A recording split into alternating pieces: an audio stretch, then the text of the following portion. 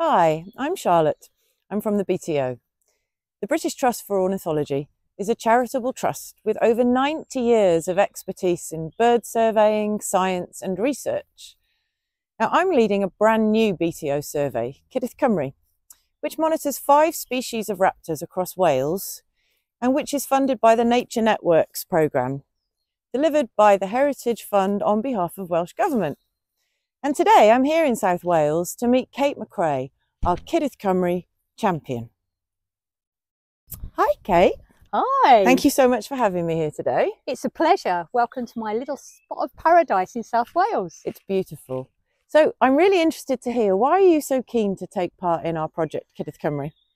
Well, I moved here less than two years ago now, and I really want to establish myself in my new location. I'm absolutely passionate about birds. So when I saw this project come up, it was perfect because it fused my love of birds, my urge to get to know this area a little bit more. And I love the idea that it could help other people as well get to know about the raptors in their area and the wonderful wildlife that's right on their doorstep.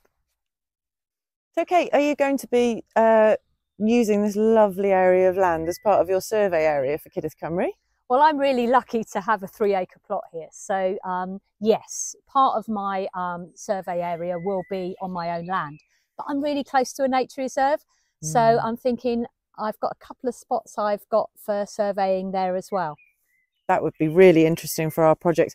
One of the key aims is actually to try and discover how well Wales's protected areas are performing for our raptors. So it'd be interesting to see what you discover. Well, why don't we go out to the reserve? I'll yeah. show you. Yeah, let's have a look.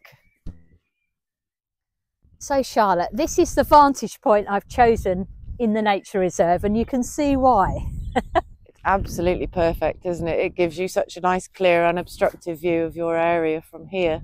It does. So, so tell me, Kate, which of our five species of raptor do you see in this area? Right, so from this vantage point so far, I've seen the buzzard, the red kite, um, the raven, haven't seen any sparrowhawks from here yet, and I haven't seen um, any of the kestrels. But we don't get many kestrels in this area, I've been told, so we'll have to wait and see. So recording a zero count is actually just as valuable to us as recording positive data. Um, and the sparrowhawk, do you see that in any of your other vantage points, perhaps your garden? Yes, so the vantage point on my land, yes, I have seen sparrowhawks and I see them quite a lot in the garden. Um, but it will be really interesting to see if we can spot them here. And there's a buzzard.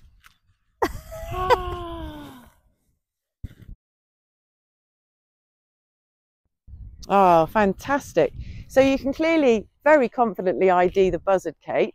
Uh, how about the other four raptor species? Yeah, I've been keen on birds all my life, so fairly quickly I can tell exactly which of those species it is.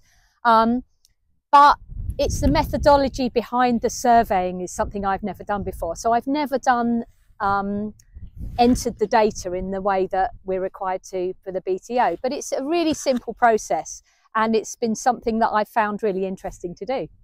Oh, well, that's really encouraging to hear because one of the key aims of the project was to remove any barriers and make it really accessible to everybody to take part, whether they're an experienced birder or whether they're a complete beginner. Um, and that hopefully they'll feel supported in, in having all the resources they need to eventually become as proficient as you in their ID skills. So I thought I would just do my surveying as part of my daily dog walk. It's something I can easily incorporate into my everyday walk and it'll be really interesting to see the results of, of all this data coming into you. Yeah, absolutely. And, and it's data that we need critically because these five species, they're really, really under recorded. Um, and we just simply do not know enough about them. Yeah, and I think the great thing about this is citizen science is fantastic, but it's only as good as the number of people who sign up. So we need to get as many people on board who will be monitoring um, and help us get a better understanding of how these raptors are doing in Wales. That's absolutely spot on, Kate. So, Kate, thank you ever so much for having me here today. It's lovely to see your survey area. And it's really great that you're taking part along with so many others that have signed up. We've been absolutely delighted by the sheer number of people who've signed up to take part in Cudyll Cymru. That's great news. And what I really liked was that I could actually choose my survey area. So just go on the map and highlight the area you want to choose. So you can, it's so easy to choose a place that you walk regularly anyway. Yeah, absolutely. And there are still survey areas free. So if you would like to sign up, please do visit the BTO website. That's bto.org. And under the projects page, you will find Cudyll Cymru. You can check out the map, see if your survey area is free, and sign up from there.